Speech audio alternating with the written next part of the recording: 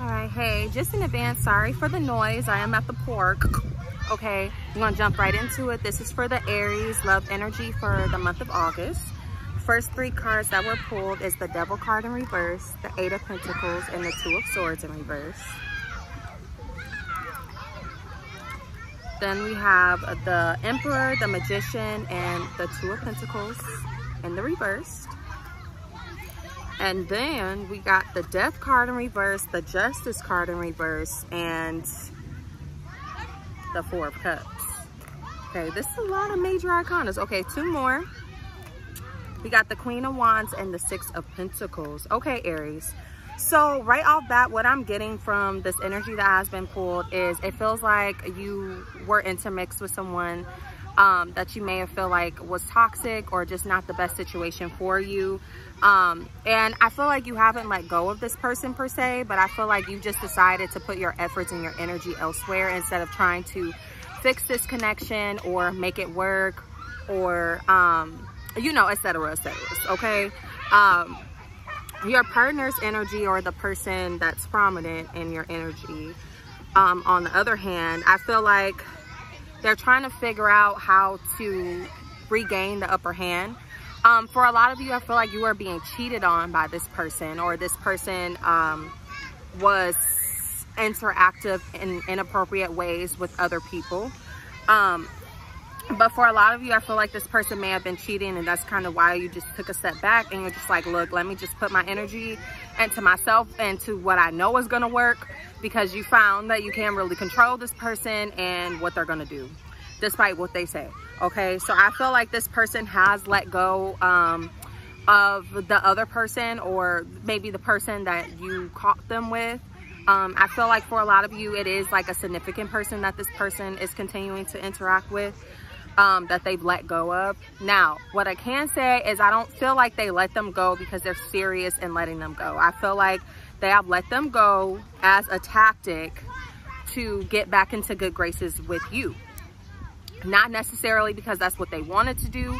Um, and because of that, I feel like if you were to um, forgive this person, like they're going to end up doing what they're going to do. Like this seems like a person that is going to cheat regardless. So sometimes you have to look at situations and patterns and you have to say, okay, this is what this person um, wants to do. This is what this person does.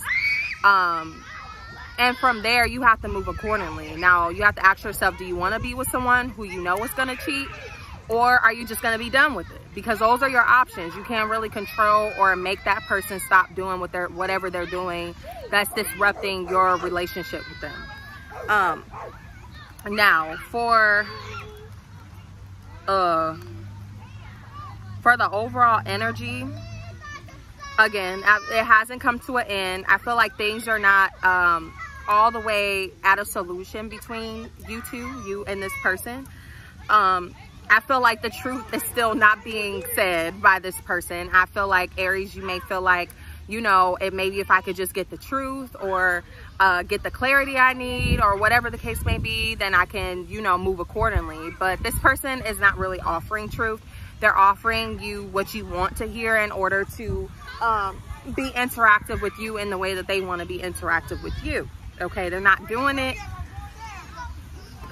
They, this person is not going to give you the truth. You know the truth. You don't need this person to tell you the truth. You already know what the hell is going on okay? Um so i feel like you both like i feel like this person trying to offer you what they feel like like um what they feel like will bring resolution to the situation. They may be apologizing and saying oh i'll never do it again or i love you and i want to be with you. I want to marry you if you're already married. Like i don't want to get a divorce. Like i you know those sorts of things but there's really no action behind it. It's just a lot of watery words happening okay um, now, your advice, Aries, is to put the energy into yourself, okay? You got the Queen of Wands here and the Six of Pentacles. It can't get more clear than that. Um, put the energy into yourself.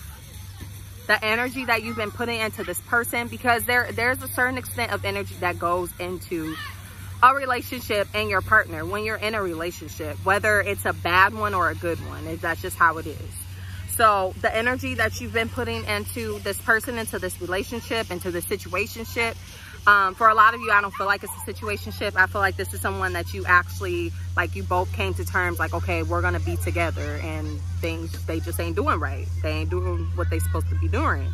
I feel like that's what's going on. But I feel like, yeah, just continue to put your efforts into things that are gonna work for you and especially things that are of your best interest, okay? Because this person is just gonna keep online and if you take them back, they're gonna do what they wanna do. So I'm not saying don't be with them. All I'm saying is, is that if you're going to move forward with this person, you have to understand that this is what this person is going to do. And you have to decide if you're gonna be okay with that or if you just ready to move on, okay? But either way, right now, I feel like just put the focus into yourself. All right, I hope that this reading helps. Um, if you want a personal one, because this is for entertainment, okay? This is not, this is not that, okay? Um, this is general, so, you know, it's gonna resonate or it's not. If you would like a personal one, um, my email will be in the description box below. And if not, there's multiple other readers out there, all right?